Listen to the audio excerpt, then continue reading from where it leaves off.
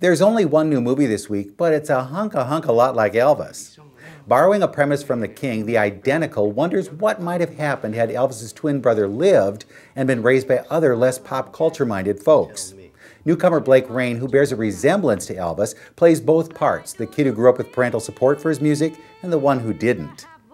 Obviously, director Dustin Marcellino wanted to make as many connections as he possibly could, so this spins out like so many TV movies about Elvis and his rise to fame. The one twin shakes things up, the other wonders why his parents can't accept his musical ways.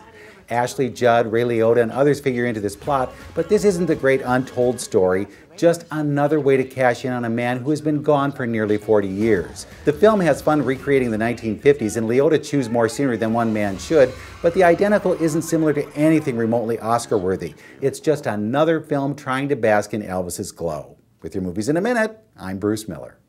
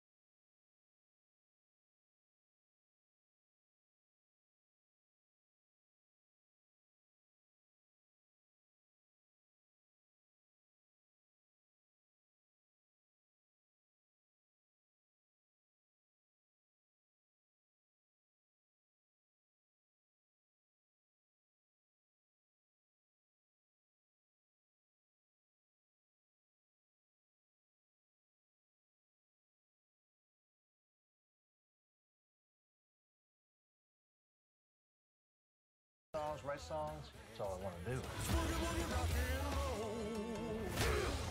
God set you apart. You're going into the ministry. I'm mighty proud of you, son, for hearing the calling. I don't hear this call Daddy wants me to hear.